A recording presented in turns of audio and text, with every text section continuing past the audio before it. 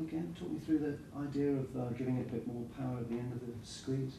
It's, it's all about really making sure that the extra grip is provided as required by the user.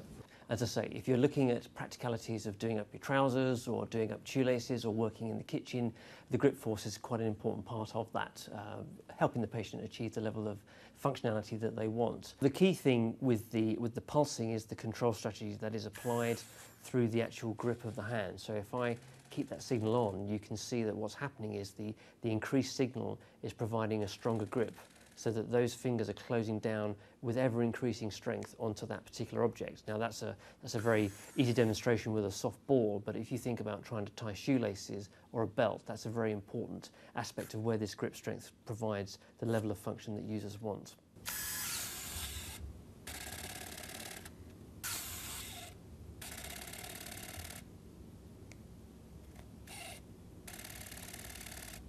And, and, and, let's, let's face it, there is, there's a long way to go. The science fiction elements of having neurally integrated uh, patients is becoming science fact, but it's a long way off for, for the average amputee.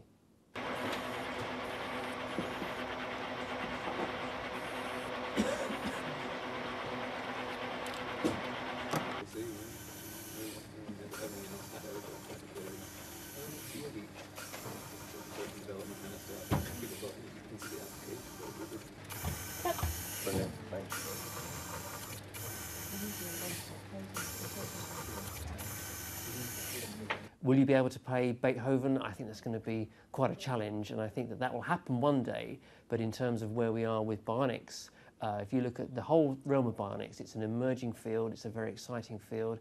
It is interacting the latest technology, battery technology, software technology with human beings, but effectively you're, you're looking at two completely differing systems trying to work with each other, so there's, there's still a long way to go.